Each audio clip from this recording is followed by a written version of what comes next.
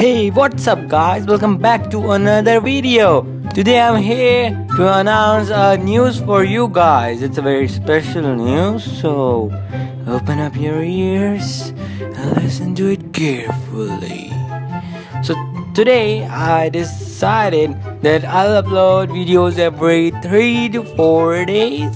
So you guys stay tuned. And by the way, you guys like my new outro? I posted it in my last video. In this video make sure to anyways i have to go to school. Etc etc and that's why i can't upload daily videos.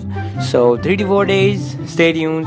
Watch my new intro. What the fuck am i saying? Uh, watch my new outro. And bye for now. Two days. Yeah two days